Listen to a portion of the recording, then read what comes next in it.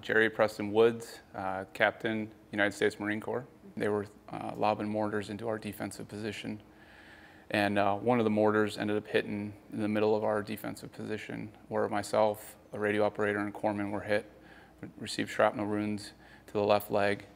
Uh, we were later evac sent back to, to Baghdad, and then eventually Germany, back to Walter Reed, and then eventually back to Camp Pendleton, where it took about a month, two months for, recovery. Um, and uh, I was lucky enough to, to heal, and it I was one of the lucky ones.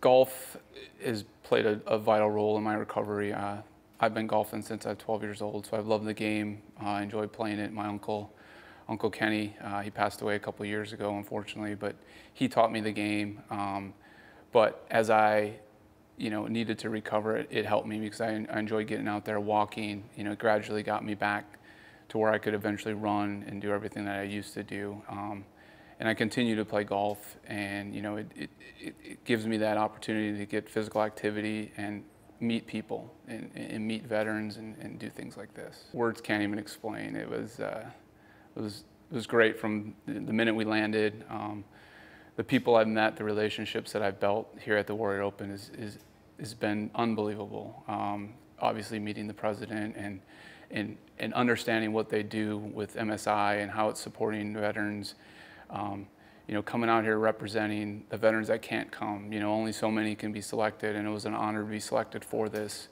So to come here and meet other veterans, uh, you know, that have, have given more sacrifice than I have, and hear their stories, walk along with them, and play golf. Um, again, it's a game I love, and to be out here with them and enjoying this moment is just undescri- undescribable. It's a great moment.